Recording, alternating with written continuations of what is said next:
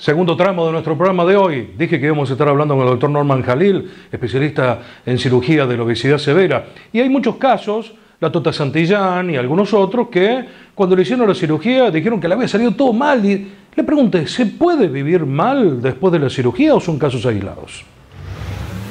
En primer lugar, la obesidad es una enfermedad. Nosotros estamos de alguna manera lidiando con una enfermedad que va a estar presente toda la vida hay una mayor capacidad para asimilar, especialmente los hidratos de carbono, que son las harinas y los dulces, en pacientes obesos comparados con otra persona. Y esta es una cuestión genética.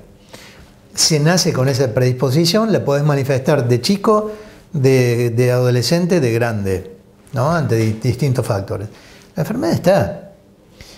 Cuando el paciente ya ha saturado las reservas primarias, el resto empieza a guardarse en la reserva grasa.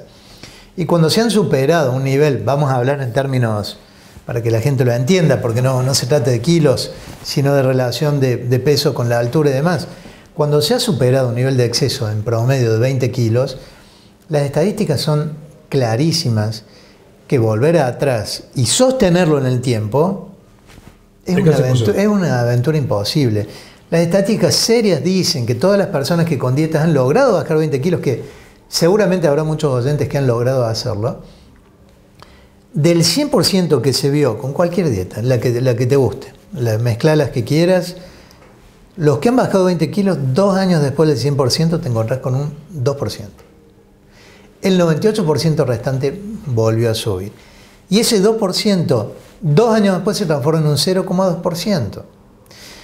Lo cual no habla mal de, de las dietas, habla a las claras de lo difícil que es manejar esta enfermedad. En la cual, si yo te digo que hay un trastorno, en el cual toda la vida, cada vez que comas, una vez que tenés saturada la reserva, vas a estar guardando más de lo que quemas, tomemos la primera medida, tachemos la palabra dieta, porque no es para vos. Cuando un paciente tiene una obesidad instalada, se tiene que olvidar de la palabra dieta. Tenemos que hablar de lo que es instalar un estilo de alimentación que dure toda la vida. Y ahí lo comparamos con un diabético. Un diabético va a ser diabético, y te lo comparo porque es una enfermedad bien conocida. ¿Cuánto tiempo para vos? Toda la vida. Entonces el diabético no tiene día libre, no tiene permitido, no tiene fin de semana porque sabe que se come un bombón o un chocolate y se va a descompensar. Ahora, el que no tiene diabetes se puede comer una caja de bombones, no tiene ningún problema.